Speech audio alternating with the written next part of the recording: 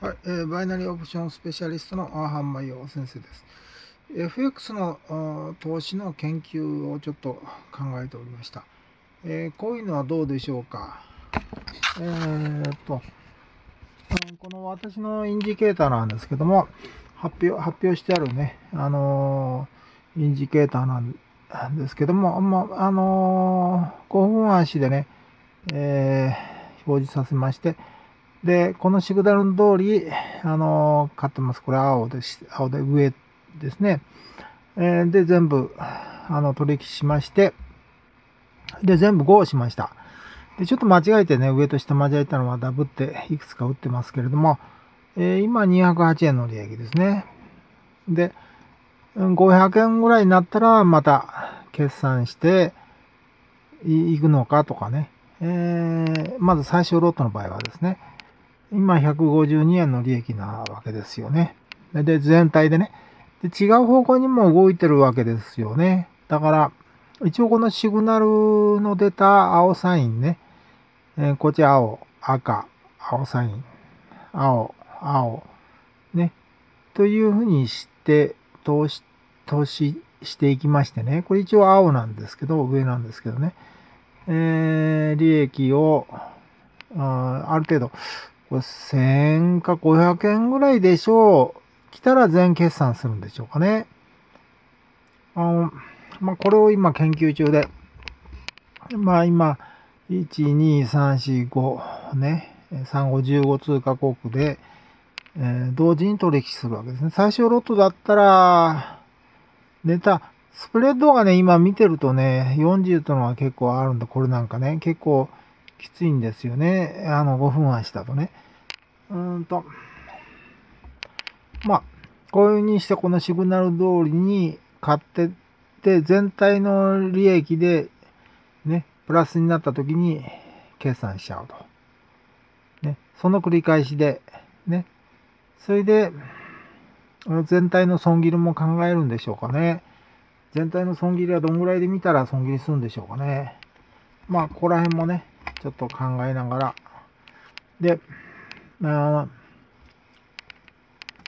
一回に全部クローズするのかなっていうような感じでね、あのーや、やっちゃった方がいいんじゃないかな。それでまた再出発でシグナルを送るというような、あの、シグナル、あの、シグナル通りに取引するというような感じで、整形取っていった方が儲かるんじゃないかなって、一回、ね、まあ研究中で、500円ぐらいこれ、ね、入れ、最初ロットで、0.01ロットで500円ぐらいですね。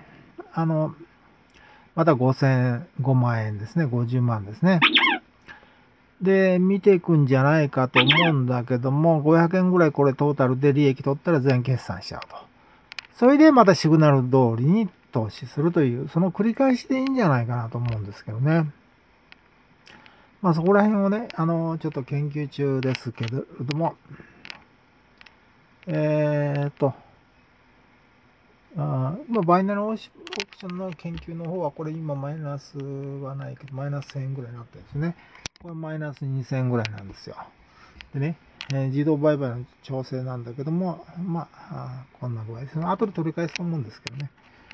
あの、で、あの、木曜日、金曜日が、あの、ちょうど合うんですよ。で、こちらの方 FX なんですけれども、うん、まあ、マイナス69円ですね。うーん、研究としては、まあ、このシグナル通りに買って、500円以上稼いだら全決算すると。最初ロットではね。それでまた取引し直して、このシグナル通りにね、取引すると。こういう、この繰り返しでいいんじゃないかと思うんですよね。全部一個ずつ買ってね。うーん。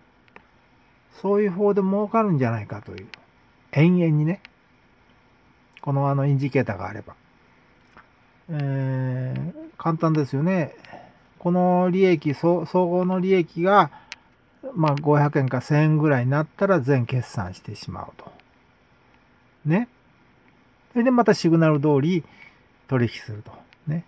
その時にこのシグナル変わってると思うんですよね。ね。今のところのシグナル変化も無視しちゃうんですよ。で、ある程度変わってきますでしょ、シグナルがこれ。ね。それでこの利益で見ていくのね。だから、こういうとこのシグナル通りに順方向に進んでいけば、だからいいわけなんですけど、で行かなかった場合はどう損切りするのかなどんぐらいで損切りするんでしょうかちょっとわかんないんだけどね。まあ、とにかくここ入れ替わらないとダメですから、そういうな時に決算しないとね、あの、調整ができにくいわけでしょね、せっかく逆にバックアップしちゃうかもしれないですからね。あの、ちょっと戻りの状況かもしれないんで。まあ、とにかく、利益がある程度終わったら全決算して、で、また、シグナル通りに通していくと。その繰り返しでいいんじゃないかなと思うんですよね。細かくこれ80にしてるんで、変わってますからね、その時の状況はね。時間置けばね。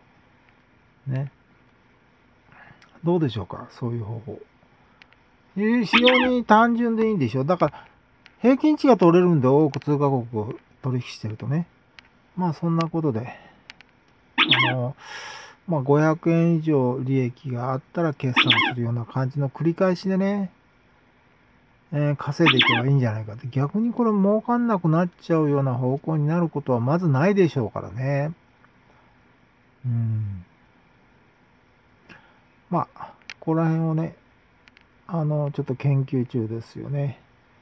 FX の投資ですね。うまくいったらこれ、大成功ですね。このインジケーターの使い方ね。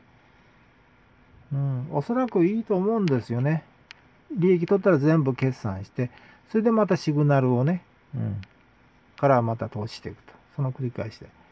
損切りはどうするかということですがね。それはちょっと考えようですね。